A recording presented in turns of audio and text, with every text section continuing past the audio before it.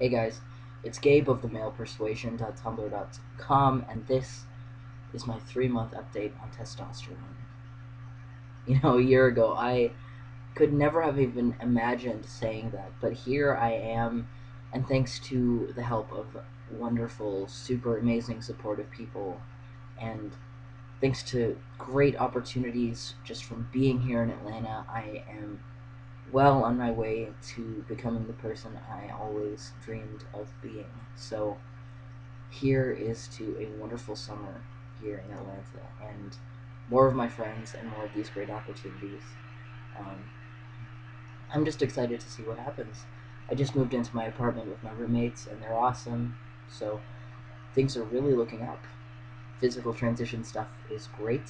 I've got a bit of peach fuzz coming in a little bit on the sides. Nothing too visible unless you're about this far away from the face, but it's there and it's exciting. I have, of course, my voice is dropping. My actual, the goal I'm aspiring to is like Thorin level. You know that song, the Misty Mountain song from Hobbit. I want to get to that level and sing that song and be awesome because singing a song from a movie about hobbits is totally awesome. Anyway, so the point is, I'm my voice is dropping and it's great, and I am discovering my the bounds of my register. It, it changes every week, so that's fun for when I try and sing along to something I thought I could sing along to, but I can't anymore. Um, so the voice is great, the peach fuzz is great.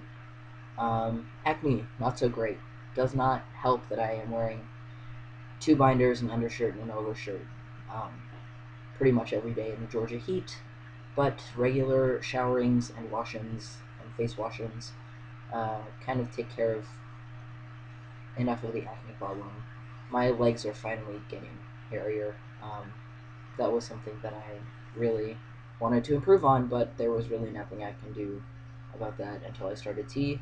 And so now it doesn't look like I shave my legs or my arms. Well, okay, my arms still kind of look like they've been shaved, but that's, you know, that's something I'm working on.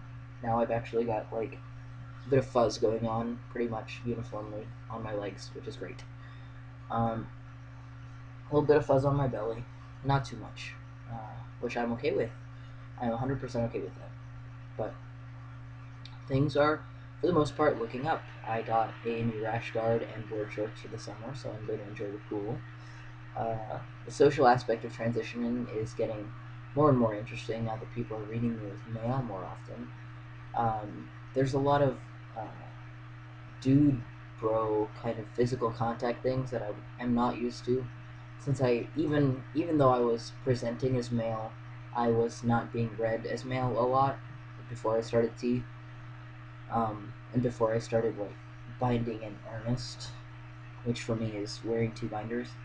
Um, so now that I'm being pretty much read as male 90% of the time, passing is the term passing is tricky, and I'll put a link below saying why. But being kind of introduced into this dude society when I work with male uh, customers and clients at work, the uh, the there's this some kind of unspoken understanding which I'm not entirely tuned into because I haven't had, you know, 20 years of my life being socialized as a man, but apparently when you are socialized as a man, there are lots of um, unspoken understandings about things like women and stuff, which is actually just the patriarchy and really makes me angry.